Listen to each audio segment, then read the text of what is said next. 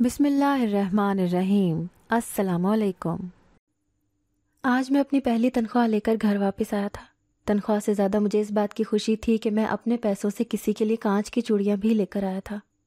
मेरे दिल में बहुत से अरमान थे। ये तनख्वाह मेरी खुशियाँ मेरी झोली में डालने वाली थी। मैं अपने गाँव पहुँचा तो सरसब्ज खेतों के प्यारे से नज़ारे ने मेरा इस्तकबाल किया था।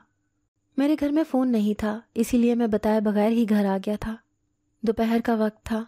मेरी अम्मी मकई की रोटी बना रही थी। देसी घी वाला साग और लस्सी का जग देखकर मेरे मुँह से राल टपकने लगी थी। मैं अम्मी से मिला। अम्मी ने मेरा माथा चूमा और बोली, भूख तो लगी होगी। मैं मुस्कुराकर बोला, पहले नहीं लगी थी। साग की खुशबू सुनकर लग गई। अम्मी ने जल्दी से मेरे लिए खाना लगाया और मैं उनके पास ही चारपाई डालकर बैठ गया था। अम्मी जब मेरे लिए रोटी बनाने लगी तो मुझे चूड़ियों की खनक ने अपनी जानब मतवजा किया था। मैं बोला, क्या बात है अम्मी? आज तो बड़ी चूड़ियाँ पहनी हैं। अम्मी खुश दिली से बोली, हमारे चौधरी साहब है ना, उनकी इकलौती बेटी नीलम की शादी है। उन्होंने हम पुरानी मुलाजिमाओं को काम पर वापस बुलाया है, बस एक महीने के लिए, और नेग में दो दो सूट, चूड़ियाँ और जूते वगैरह दिए हैं। मेरे हलक में नवाला फंस गया था। मैं बमुश्किल बोला, क्या कहा आपने? अम्मी ने जल्दी से रोटी पकाना छोड़ी और मेरे पास आई, गिलास में लस्सी उंडेल कर बोली, ये पी लो। मैंने जल्दी से गटागट गिलास अपने अंदर उंडेल लिया था। मगर मेरे दिल में लगी आग नहीं बुझ सकी थी। मैं बोला, अम्मी, ये आप क्या कह रही हैं? अम्मी बोली, मेरे बेटे, मैं शर्मिंदा हूँ। तुमने मुझसे कहा भी था कि चौधरियों के घर काम करना छोड़ दो। मगर उन्होंने इतने प्यार और मान से बुलाया है, मैं ना नहीं कर सकी। मैंने सर झटक दिया और बोला, नहीं नहीं, मुझे ये बताओ, किसकी शादी है? अम्मी कहने लगी, नीलम की शादी है। मैं बोला, अम्मी, उसकी शादी किसके साथ है? अम्मी मुझे हैरत से तकने लगी। बोली, उसकी शादी साथ वाले गाँव के चौधरी के बेटे के साथ है। मैं बोला, अम्मी, आपने कब जाना है उनके घर? अम्मी कहने लगी, बस रोटी पकाकर चली जाऊँगी। मैंने अपना खाना वहीं पर छोड़ा और कमरे में जाकर एक ख़त लिखने लगा था। ये ख़त नीलम के नाम था। वो मेरी मोहब्बत थी। हम दोनों पिछले दो सालों से एक दूसरे को चाहते थे। मैं कम पढ़ा लिखा था और फिर मैं नीलम के घर काम करने वाली एक मुलाजिमा का बेटा था। मैंने अम्मी से कह दिया था कि आप चौधरियों के घर काम करना छोड़ दें। ये मैंने मजबूरी में किया था, क्योंकि मैं जानता हूँ अमीर लोगों की नाक बहुत ऊँची होती है। वो कभी भी अपने घर में काम करने वाली औरत के बेटे को अपनी बेटी का रिश्ता नहीं देने वाले थे। अम्मी ने मेरी मान कर काम भी छोड़ दिया था। फिर मुझे नीलम ने मजबूर किया कि तुम कोई काम धंधा ढूंढ लो। जब तक तुम काम नहीं करोगे, अब्बू इस शादी पर रजामंद नहीं होंगे। मुझे वैसे भी लगता था कि ये शादी मुमकिन नहीं है, क्योंकि नीलम आसमान पर चमकने वाला चाँद थी, जो हर शख्स की दस्तरस में नहीं आ सकती थी। मैंने नीलम से अपने खदशात का इजहार किया तो वो बोली, तुम इस बात की हरगिज़ फ़िक्र मत करो, मैं अपने वालिद के सामने डट जाऊँगी। हम दोनों एक होकर रहेंगे। मैंने वैसे भी अम्मी के मुँह से सुन रखा था कि चौधरी साहब अपनी इकलौती बेटी से बहुत मोहब्बत करते हैं। नीलम के मुँह से निकली हर बात को वो अपना ईमान समझते हैं। कभी ऐसा नहीं हुआ कि उसने किसी चीज़ की फरमाइश की हो और चौधरी साहब ने रद्द कर दी हो। बस ये सब बातें सुनकर मेरा हौसला बढ़ गया था। मैंने शादी के ख्वाब देखना शुरू कर दिए थे। उधर नीलम मुझे मजबूर कर रही थी कि मैं अपने लिए मुलाजिमत तलाश कर लूँ। मैं मुलाजिमत कहाँ से ढूंढता? मेरे पल्ले तो कुछ भी नहीं था, ना हुनर और ना ही तालीम। मैं तो सातवीं जमात से ही स्कूल से भाग गया था। खैर, मैंने गाँव से निकलने का फ़ैसला कर लिया था। मैंने सुन रखा था कि हमारे गाँव के साथ जो कस्बा लगता है, उसमें मज़दूरों की ज़रूरत है। मुझे काम की नौयत के मुतालिक इलम नहीं था। मुझे बस इतना पता था कि यकीनन कोई सख्त काम ही होगा। मगर ज़ाहिर सी बात है, मुझे काम तो करना ही था। इसलिए मैं अपने वालदेन से दुआएँ लेकर कस्बे की जानब निकल गया था। मेरी खुशकिस्मती ये थी कि मुझे आटे की मिल में मुलाजिमत मिल गई थी। तनख्वाह मेरी सत्रह हज़ार लगी थी। मुझ जैसे वेले निकम्मे के लिए ये तनख्वाह बहुत ज़्यादा थी। मेरे अब्बू चौधरी साहब की फ़सलों में काम किया करते थे। उन्हें महीने का सात हज़ार रुपये मिलता था और साल भर की गंदुम। उस हिसाब से मेरी तनख्वाह बहुत अच्छी थी। एक माह की तनख्वाह लेकर मैं अपने घर वापस आ गया था। मैंने सोचा था कि अपनी वालिदा से कहूँगा कि मेरा रिश्ता नीलम के लिए मांग लें, मगर यहाँ आकर तो मेरे सारे ख्वाब चकनाचूर हो गए थे। मैंने थर थर कांपते हाथों के साथ नीलम के नाम खत लिखा था। मैंने उससे ख़त में खूब गिला किया था कि तुम कैसी माशूक हो। तुमने मुझे मुलाजिमत के लिए गाँव से बाहर भेज दिया और ख़ुद अपनी शादी रचाकर बैठी हुई हो। नीलम, मैं जान दे दूँगा। मगर तुम्हें किसी और का होने नहीं दूँगा। तुम मुझे बताओ, हम दोनों एक कैसे हो सकते हैं? मैंने हाले दिल नीलम से कह दिया और साथ ही वो चूड़ियाँ भी एक शॉपर में डाल दी थी, जो मैं उसके लिए लेकर आया था। मैं कमरे से बाहर आया और बोला, अम्मी, मेरा ये ख़त आप नीलम को जाकर दे दीजिएगा। मेरी अम्मी ये बात सुनकर हक्का बक्का रह गई थी। वो कहने लगी, मुजम्मिल, तुम करना क्या चाहते हो? मैं बोला, अम्मी सवाल जवाब ना करो, मेरा काम कर दो बस। अम्मी ने अपना हाथ मेरे सर पर रख दिया और कहने लगी, मुजम्मिल, तुझे मेरी कसम है। बता तेरे दिल में क्या चल रहा है? मैं बोला, अम्मी, मैं मर जाऊँगा। आप देखना, मैं जान से चला जाऊँगा। आप मेरा ये ख़त हर हाल में नीलम तक पहुँचा दें अम्मी ने जब मेरी ये बातें सुनी तो वो बहुत परेशान हो गई। मैं उनकी इकलौती औलाद था। फिर जब मरने की बात की तो वो बहुत ज़्यादा घबरा गई थी। कहने लगी, तू फ़िक्र ना कर मेरे लाल, मैं तुम्हारा काम कर दूँगी। मैं बोला, अम्मी, इस खत का जवाब भी लेकर आना है। कोशिश करना जितनी जल्दी हो सके आ जाओ। जब तक मुझे मेरे ख़त का जवाब नहीं मिला, मैं सूली पर टंगा रहूँगा। अम्मी अनपढ़ थी, वो मेरा ख़त नहीं पढ़ सकती थी, इसीलिए मुझे किसी बात की कोई फ़िक्र नहीं थी। खैर, अम्मी चली गई तो मैं बिस्तर पर लेट गया। मेरी आँखों के सामने नीलम का खूबसूरत और खिलता हुआ चेहरा घूमने लगा था। मेरी आँखों में आँसू आ गए। मैं खुद से बोला, ओ मुजम्मिल, रब तेरी खैर करे। तुमने ख्वाब भी तो अपनी औकात से बढ़कर देख लिए हैं। अब ना जाने तू और तेरे ख्वाब चकनाचूर हो जाएँगे या तुझे दिल की मुराद मिल जाएगी। अम्मी को वापसी पर बहुत देर हो गई थी। फिज़ा में मगरिब की अजान गूंजने लगी थी। मैं रोता जा रहा था और दुआ करता रहा कि, या अल्लाह, तू मेरा दिल टूटने से बचा ले। तभी घर का दरवाज़ा खुला था। अम्मी घर वापस आ चुकी थी। उनके हाथ में ख़त था। वो कहने लगी, ये ले तेरी अमानत। मैंने जल्दी से वो ख़त अम्मी के हाथ से थाम लिया था। उसमें नीलम ने लिखा था कि अल्लाह का लाख लाख शुक्र है कि तुम वापस आ गए हो। वरना एक एक पल मेरे लिए कयामत सा गुजर रहा था। मैं भी इस शादी से रजामंद नहीं हूँ। मैंने शुरू से ही तुम्हारे सपने देखे हैं। मैंने तुम्हें अपने दिल में बसा कर रखा था। अब खुद सोचो तुम्हारी जगह मैं किसी और को कैसे दे सकती हूँ? मुजम्मिल, तुम्हें मेरी जान की कसम है। आज के बाद मरने की बात मत करना। और रही बात हमारे एक होने की तो हम दोनों हर हाल में एक होकर रहेंगे। चाहे फिर उसके लिए मुझे किसी भी हद तक जाना पड़े। मुजम्मिल, कल मेरी बारात है। मैं किसी और के साथ ब्याह कर जाने से ये बेहतर समझती हूँ कि तुम्हारे साथ घर से भाग जाऊँ। मुजम्मिल, तुम मेरा इंतज़ार करना। मैं आज रात बारह बजे तुम्हारे घर के बाहर आ जाऊँगी। तुम अपना इंतज़ाम मुकम्मल रखना। हम यहाँ से हमेशा हमेशा के लिए चले जाएँगे। नीलम का ख़त पढ़कर मेरा दिल सकून में आ गया था। मेरे चेहरे पर मुस्कुराहट फैल गई थी। अम्मी ने मेरे चेहरे पर खुशी देखी तो वो बोली मुजम्मिल, क्या लिखा नीलम बीबी ने? मैं चुप कर गया तो अम्मी रोने लगी। वो बोली, मुजम्मिल, मेरे बेटे कोई ऐसा काम मत करना कि मैं और तेरा बाप इस उम्र में जलील हो जाए। हमें बड़े चौधरी की नज़रों में मत गिरने देना। बेटा, अगर दिल मजबूर करे कुछ गलत करने को, तब भी मेरा यही मशवरा है कि तुम अपने दिल को कुर्बान कर देना। चौधरी साहब की और हमारी इज़्ज़त बचा लेना। बता मेरे बेटे, क्या लिखा है इसमें? मैं अम्मी को सच नहीं बता सकता था, क्योंकि मेरी अम्मी चौधरीयों की बहुत वफादार थी। वो उनकी इज़्ज़त की खातिर मुझे कुर्बान कर सकती थी। इसलिए मैं बोला, अम्मी नीलम ने लिखा है कि मैं अपने वालदेन की इज़्ज़त से अपनी मोहब्बत की कुर्बानी कर देती हूँ। अम्मी की आँखों में खुशी के आँसू आ गए थे। वो कहने लगी, बेटा, मुझे तेरे दिल की बहुत फ़िक्र है, मगर जो इज्जतदार है उसको बेइज्जत करके भी तू कौन सा खुश रह सकता है? अच्छा हुआ यह मोहब्बत का किस्सा ख़त्म हो गया। मुजम्मिल, तुमने पहले ही क्यों ना सोचा कि ये बेजोड़ ताल्लुक ज़्यादा देर तक कायम नहीं रह सकता? मुजम्मिल, मेरे बच्चे, तू फ़िक्र ना कर। मैं तेरे लिए बहुत अच्छी दुल्हन लेकर आऊँगी। मैं बोला, ठीक है, मैं आपकी पसंद की लड़की से शादी कर लूँगा। बस मैं आज रात यहाँ से निकल जाऊँगा। मैं नीलम को किसी और की बारात के साथ जाते हुए नहीं देख सकता। आप मेरे जाने के बाद लड़की ढूंढ कर रखना। मैं अगले महीने तनख्वाह लेकर आऊँगा तो मंगनी कर लेंगे। अम्मी ने जल्दी से मेरा माथा चूम लिया था। वो कहने लगी मुझे तुमसे इस किस्म की समझदारी की उम्मीद हरगिज़ नहीं थी। मैं अम्मी की बात सुनकर हंस दिया था। खैर, अब्बू भी काम से वापस आ चुके थे और वो मुझे घर में देखकर बहुत खुश हुए थे। फिर हम सबने मिलकर रात का खाना खाया और मेरे वालदेन सोने के लिए लेट गए थे। वो रात नौ बजे से पहले सो जाया करते थे। वो ही क्या, बल्कि हमारा पूरा गाँव रात नौ बजे तक अंधेरे में डूब जाता था। घर में खामोशी छा गई तो मैंने अपना इंतज़ाम मुकम्मल कर लिया था। अपने पैसे वगैरह और एक दो जोड़े अपने साथ ले लिए थे। मैं बार बार बाहर जाकर देख रहा था कि नीलम आई है कि नहीं। बड़ी देर बाद एक स्याह बुरके में लिपटी हुई नीलम मुझे नज़र आ ही गई थी। उसके वजूद को देखकर ऐसा लग रहा था जैसे मुझे नई ज़िंदगी मिल गई हो। मैं मुस्कुराने लगा था। मैं बोला, नीलम, मैं बहुत खुश हूँ। उसने सर हिला दिया। उसके चेहरे पर भी नकाब था। वो मुझे देखकर बोली, तुम भी अपना चेहरा छुपा लो, कोई हमें पहचान ना ले। मैंने उसकी बात मान ली और एक बड़ी सी चादर में अपना मुँह छुपाकर उसके साथ चल पड़ा। मैं बोला, नीलम, हम उसने मुझे बोलने से रोक दिया। वो कहने लगी, खामोशी से बस स्टेशन तक चलो।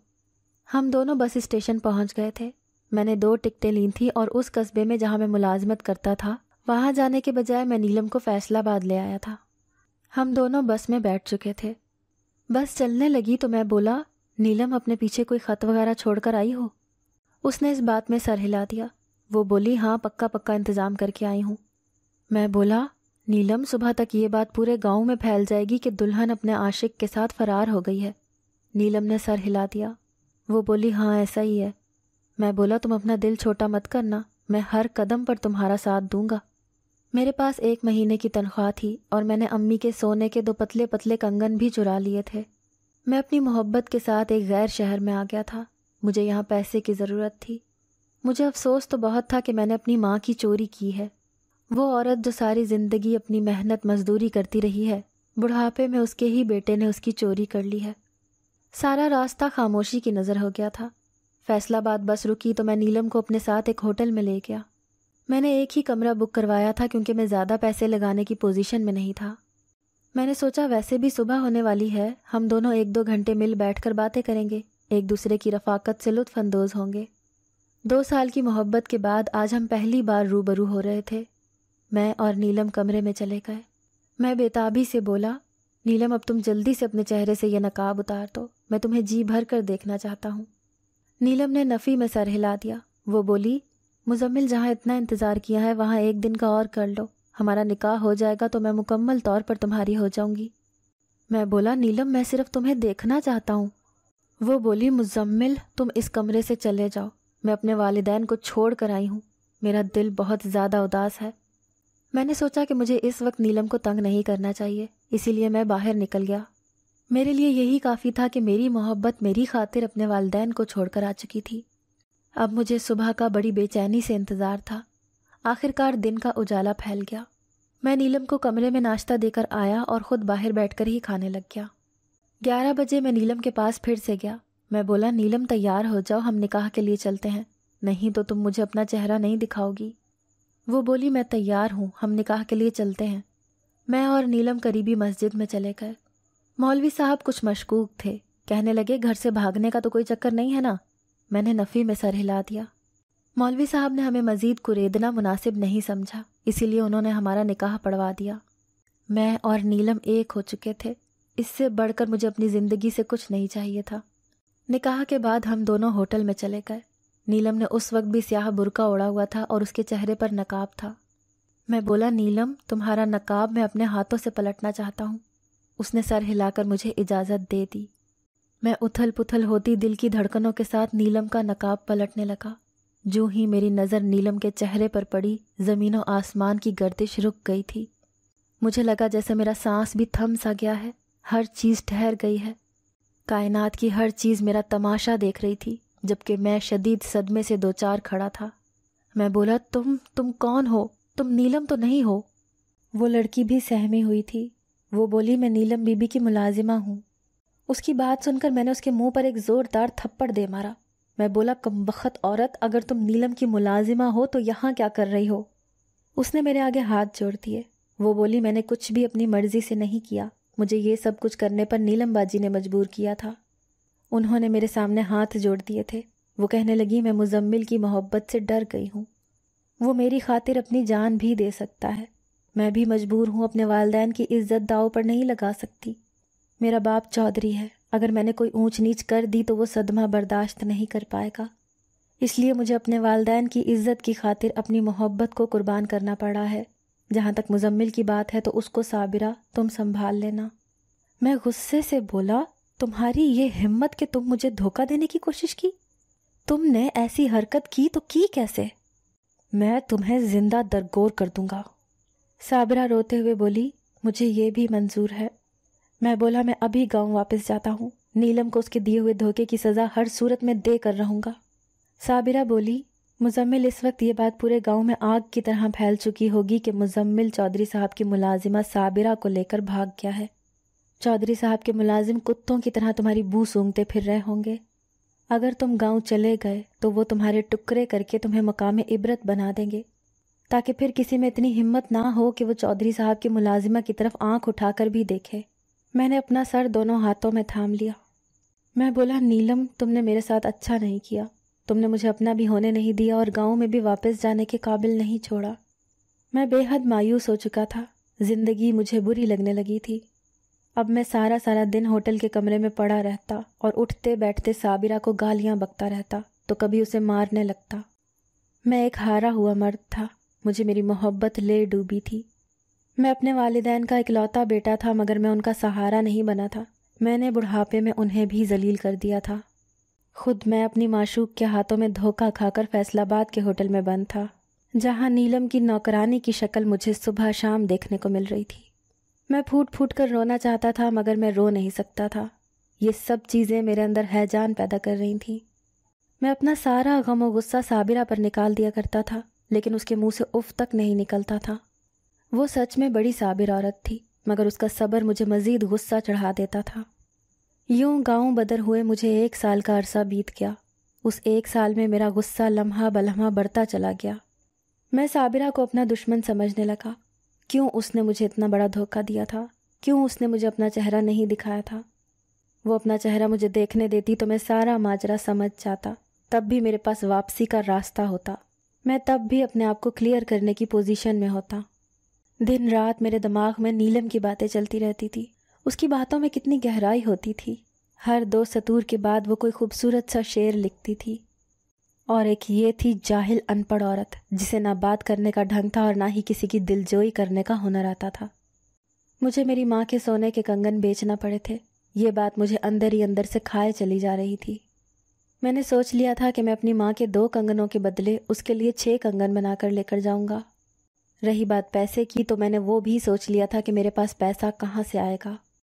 मैं इस बात को कभी फरामोश नहीं कर सकता था कि साबिरा मेरे और नीलम के दरमियान में आई थी। इस चीज़ का बदला तो मैं हर हाल में उससे लेना चाहता था। मैंने साबिरा का सौदा करने का सोच लिया था। मैं इतना बेगैरत नहीं था कि अपने निकाह में आई औरत को पैसों की खातिर बेच देता। ये पैसे नहीं थे जिसकी वजह से मैंने इतना बड़ा कदम उठाने पर मजबूर हुआ था, बल्कि मैं तो साबिरा से बदला लेना चाहता था। शायद इस तरह से मेरे ज़ख्मी दिल को करार आ जाता। मैंने साबिरा का बगौर जायज़ा लिया। वो बहुत हसीन थी। अगर वो मेरे और नीलम के दरमियान में ना आई होती तो मैं उसे कबूल कर ही लेता। मगर उसने मुझे धोखा दिया था, और अब मैं उसे धोखा देने वाला था। साबिरा जवान भी थी और खूबसूरत भी, इसलिए मैंने सोच लिया था कि उसका तगड़ा मुआवजा लूँगा। मैंने साबिरा के लिए गाहक तलाश कर लिया था। वो उसे दस लाख में ख़रीदने पर रजामंद हो चुका था। मैं साबिरा से बोला कि जल्दी से तैयार हो जाओ। उसकी आँखों में आँसू आ गए। वो बोली, मुजम्मिल, हम कहाँ जा रहे हैं? मैं बोला, मैं तुम्हें सैर करवाने बाहर लेकर जा रहा हूँ। उसकी आँखें सुर्ख हो चुकी थी। लबों पर जख्मी सी मुस्कुराहट फैल गई थी। वो बोली, मुजम्मिल, मेरे हिस्से के गम टल गए हैं क्या? लंबी गम की शाम ढल गई है क्या? मैंने बड़ी हैरत से साबिरा की जानब देखा था। वो आज नीलम के से अंदाज में बात कर रही थी। वो इस तरह से अशार को बदल कर अपनी बात में ढाला करती थी। शायद साबरा ने ऐसा शहूरी तौर पर किया था। वो मुझे ये बावर कराना चाहती थी कि तुमसे नीलम छिन गई है। तुम एक नाकाम इंसान हो। तुम बहुत कम में राज़ी होने वाले शख्स हो। देखो, तुम तो इतने गए गुजरे निकले कि अपनी मोहब्बत की मुलाजिमा को सैर पर लेकर जा रहे हो। मैं मुस्कुरा दिया था। मैंने दिल में सोचा, साबिरा, अभी तुम जानती नहीं हो कि तुम किस इंसान को तंज के तीर चला रही हो। खैर, मैं उसे अपने साथ कोठे पर ले आया था। वो माहौल को देखकर जान गई थी कि यह अच्छी जगह नहीं है। वो खौफजदा होकर मेरे साथ चिपक गई थी। वो बोली, मुजम्मिल, मुझे अपने साथ ले चलो। देखो, मैं तुम्हारी इज़्ज़त हूँ, तुम्हारे नाम पर हूँ। मैंने वहाँ पर खड़े खड़े ही साबिरा को तलाक दे दी। मैंने उसकी कीमत वसूल की और कोठे से बाहर निकल आया। वो रोती रही। उसके रोने की आवाज़ मेरा ताकुब करती रही। खैर, मैं बाहर आया और सुनार की दुकान पर चला गया। मैं अम्मी के लिए सोने के कंगन खरीदने के बाद बहुत ज़्यादा खुश हो गया था। मैं वापस अपने गाँव जाने के लिए बस पर बैठ गया था। मैंने सोच लिया था कि लोग मुझे रास्ते में पकड़कर पूछेंगे कि मेरी इतनी हिम्मत कैसे हुई कि मैंने चौधरी साहब की मुलाजिमा को साथ लेकर भागने की जसारत कैसे की। हो सकता है कि लोग मुझे देखते ही मारने पीटने लगे। मैं उनसे कह दूँगा कि मैं तो अपने काम में मसरूफ़ हो गया था, इसलिए गाँव का चक्कर नहीं लगाया। जबकि मैं तो किसी साबिरा को जानता तक नहीं हूँ। खैर, मैं गाँव पहुँच चुका था। हर तरफ़ सब्ज़ा ही सब्ज़ा फैला हुआ था। मुझे गाँव में एक दो लोग मिले थे जो मुझे देखकर बहुत खुश हो गए। कहने लगे यार तू तो गाँव से ऐसा गया कि पलट कर वापस ही नहीं आया। मैं मुस्कुरा दिया था। मुझसे किसी ने भी साबरा के मुतालिक इस्तफसार नहीं किया था। मुझे बड़ी हैरत हुई थी। खैर, मैं अपने घर पहुँचा तो देखा मेरी बूढ़ी माँ बैठी रो रही थी। वो फरियाद कर रही थी कि ए खुदा, मेरे बच्चे को मुझसे मिला दे। मैं आगे बढ़ा और बोला, अम्मी, मैं वापस आ गया हूँ। ये देखकर मैं लरस गया कि अम्मी चारपाई से उठना चाहती थी, मगर उठ नहीं सकी। उनके पास लाठियाँ पड़ी थीं। मैं बोला, अम्मी, क्या हुआ आपको? कहने लगी, तेरी जुदाई तेरे बाप को मार गई, मेरे बच्चे। मुझे ख़त्म कर गई। मैं रोने लगा। अम्मी ने अपना दुपट्टा फैला दिया और कहने लगी, नीलम, खुदा तुझे बर्बाद करे। खुद तो तू ब्याह कर दूसरे घर चली गई और मेरा बच्चा इतना दिल बर्दाश्ता हुआ कि गाँव छोड़कर ही चला गया। फिर अम्मी बोली, बेटा, मेरे ट्रंक में एक ख़त पड़ा है, ये नीलम ने दिया था तेरे लिए। वो उठाकर देख ले। मैं जल्दी से कमरे की जानब भागा।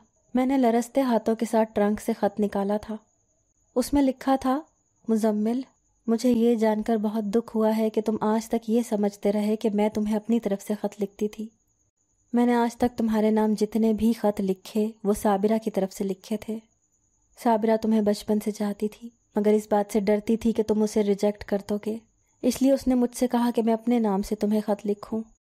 पहले तुमसे दोस्ती करूँ और फिर तुमसे कहूँ कि साबिरा तुम्हें बहुत चाहती है। मैंने तुम्हें ख़त लिखा, मगर तुम्हें यकीन नहीं हुआ कि चौधरी साहब की बेटी तुम्हें ख़त भी लिख सकती है। तुमने कहा कि अपनी तस्वीर भेज दो। मैंने अपनी तस्वीर तुम्हें भेज दी। उसके बाद साबिरा ने कभी मुझसे कोई ख़त नहीं लिखवाया। वो खुद ही ख़त लिखने लगी थी। मैंने कई बार उससे पूछा कि बताओ, मुजम्मिल तुमसे मानूस हो गया है? तो वो हमेशा ही ये कहती कि हाँ वो भी मुझसे मोहब्बत करने लगा है। ये बात तो मुझ पर अब आश्कार हुई है कि साबिरा पगली इस बात से डरती रही कि कहीं तुम ये जानकर कि वो मेरी मुलाजिमा है। तुम उसे ठुकरा ही ना दो। इसलिए वो मेरे नाम से तुम्हें ख़त लिखती रही। लेकिन अब मुझे पता चल गया है कि तुम दोनों ने एक दूसरे के साथ भागने का फैसला कर लिया है। मैं तुम दोनों के लिए बहुत खुश हूँ। वैसे भी तुम्हें मुझसे मोहब्बत तो नहीं हुई ना? तुम्हें तो साबिरा के अल्फाज से मोहब्बत हुई है। मैं खुश हूँ कि तुम दोनों एक हो रहे हो। मैं ये ख़त कई बार पढ़ चुका था। मुझे इन अल्फाज पर यकीन नहीं आ रहा था। मैं थर थर काँप रहा था। क्या वो साबिरा ही थी जिसके इश्क में मैं गिरफ़्तार था? तो फिर मैंने उसे ठुकरा क्यों दिया? मैंने अपनी मोहब्बत को हासिल कर लिया था, मगर फिर मैंने उसे बेच दिया। मैं फूट फूट कर रोने लगा। ऐसा लग रहा था कि अभी मेरा दिल बंद हो जाएगा। साबिरा की मासूम सी शक्ल मेरी आँखों के सामने घूमने लगी। मैं जल्दी से बाहर आया तो अम्मी ने मुझे बताया कि चौधरी साहब की मुलाजिमा भी किसी के साथ भाग गई थी। मैं बोला, अम्मी किसके साथ? अम्मी बोली, वो अपना सुराख छोड़कर नहीं गई। न जाने किसके साथ गई होगी। मैं बोला, अम्मी, मैं शहर में अपना बहुत ज़रूरी सामान छोड़ आया हूँ। मैं वो लेकर कल तक वापस आ जाऊँगा। अम्मी रोने लगी। वो कहने लगी, इस बार तू गया तो मैं ज़िंदा नहीं बचूँगी। सच तो ये था कि अगर मैं ना जाता तो मैं ज़िंदा ना बचता। मैं जल्दी से फैसलाबाद पहुँचा था। मैं उस कोठे पर गया जहाँ मैंने साबिरा को फ़रोख्त किया था। साबिरा के मुतालिक अस्तफसार किया तो पता चला कि कल कोई सिंध का वडेरा उसे ख़रीद कर ले गया है। उसने अपने किसी सऊदी दोस्त को साबिरा तोहफे में दे दी थी। यानी मुझे साबिरा का कोई सुराग नहीं मिला था। मैं फूट फूट कर रोने लगा, फिर गाँव वापस आ गया। गाँव आया तो पता चला कि मेरी माँ चल बसी है। उसका जनाजा बिल्कुल तैयार था। मैंने तो अभी अम्मी को वो सोने के कंगन भी नहीं दिखाए थे जो मैंने साबिरा को बेच कर उनके लिए ख़रीदे थे।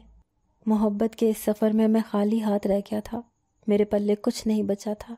क्या मैं इसी सब का मुस्तक था? अगर आपको आज की हमारी कहानी पसंद आई है तो इसे लाइक कीजिए और अपने प्यारों के साथ शेयर कीजिए। और हाँ अगर अभी तक आपने हमारा चैनल सब्सक्राइब नहीं किया तो ज़रूर कीजिए। मिलते हैं कल एक नई और दिलचस्प कहानी के साथ। तब तक के लिए अल्लाह हाफिज़।